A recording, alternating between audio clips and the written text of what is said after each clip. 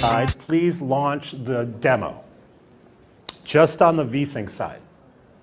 Now go ahead and click on the VSync button. We're going to start off in VSync mode. And I want you to hit a 0 and then hit a 1. And now hit a 6 for me. Now what this uh, demo does, it's designed by NVIDIA. And it's a very simple example demo. It's a pendulum. Okay, now what a pendulum does is it moves smooth. And what you can tell is just like Jensen said, when graphics are working as designed, you get a silky, kind of buttery feel, right? Yep. Oh, sorry. So if you look here, this is when the GPU is rendering very quickly. And we're rendering very quickly and showing it on a VSync display, and you're not seeing any tearing and any stutter. This is what I'll call traditional VSync perfection. Okay, now what I want everybody to do is hit a 5. Now what the 5 does in this application, we actually have a timing loop built into the application so we can control the render time. And when we hit a 5, what we did is added some extra load into the GPU cycle, and the frame rate is now 50. So we started off perfect, where we were rendering about every 16 milliseconds, a little bit faster, and now we're rendering about every 20 milliseconds. And what that leads to, this is actually a triple buffered uh, demo, so what this is leading to is uh, occasionally you're not able to keep up with the refresh rate. And so occasionally on the left-hand side, what you'll notice is this strange pulsing. And, I, and that is exactly what Jensen was talking about, that stutter. Now, uh, just to make it super clear, let's go ahead and hit a 6 again. Okay, this is what it should look like. It should look nice and smooth. Okay? But then hit a 5, and this is when it starts stuttering. Okay, 50 frames a second. Most everybody thinks that 50 frames a second is great. And almost everybody thinks that you can't tell the difference between 50 and 60. Well, let me tell you, you are completely uh, wrong. Okay? now go ahead and hit a 4. Now what the 4 does is adds a little bit more timing load, and we're now running at 40 frames a second. So at this point, we're uh, rendering uh, you know, a little bit slower. The GPU is a little bit busier and the frame rate is now a little bit slower, and we're a little bit more out of sync with the monitor. Okay, so it's very clear that there's something going on and it's not right. It's sad, it's tragic, because the pendulum's beautiful, and uh, it just doesn't look that great on a, on a V-Sync monitor. So to make it super clear, what I want to do now is let that sit, and on the G-Sync side, go ahead and launch the application. Now what's happening here is we're running at the same refresh rate, uh, uh, max refresh rate, and I'd like you guys to go ahead and hit a 6, and then hit a 0, and then hit a 1. Now we're in VSync mode, and we're running at 60 frames a second. And it's actually, now can you guys synchronize, hit, hit a 1 on both guys at the same time? So you're looking at, I'm sorry, you're looking at 40 frames a second on the left, and 60 frames a second, as you would expect. The G-Sync monitor looks really good. The 40 frames a second does not look that great. Let's go ahead and hit a 6 on both sides. Okay, so now they should look identical. They're both rendering perfectly. Take it in. This is what perfect animation looks like, right? But the best part is hit a 5. So what's happening here is on the left-hand side, you're seeing that stutter that we already saw. Does everybody see that on the left-hand side? It's pretty stunning. On the right-hand side, G-Sync is active. And what's happening is the monitor is no longer updating at 60 frames a second. It's no longer running 60 hertz on the right-hand side. It's actually running 50 hertz.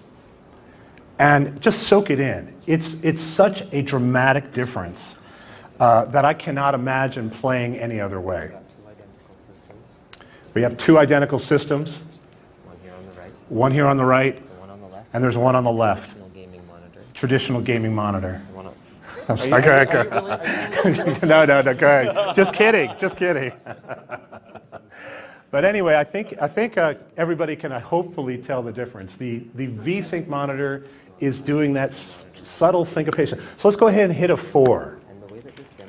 Okay, so now what's happening on the 4, again on the G-Sync side, you're now at 40 hertz on the monitor and you're at 40 FPS in the game and the animation is perfect. You are perfectly in sync, perfect harmony between the GPU and the monitor. Now on the left-hand side, on the VSync side, what you're seeing is again that, that, that syncopated, less than perfect, kind of sucky experience, right, that we're all used to. Yeah, it's not great. Um, and I hope you can all see it, right? Is it all clear? It's, it's a phenomenon that's fundamental, as Jensen was saying, right? There's nothing that a traditional monitor can do with this. But, uh, but G-Sync actually is now making the monitor a slave to the GPU. As soon as the GPU finishes rendering, the monitor updates the frame in perfect sync. Hopefully you guys can see that. So let's go ahead and uh, take the next step.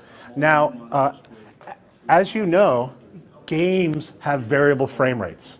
So this is a fixed frame rate right now, but games are even more complicated because the frames are going to increase and they're going to decrease. So we actually built that into the tool.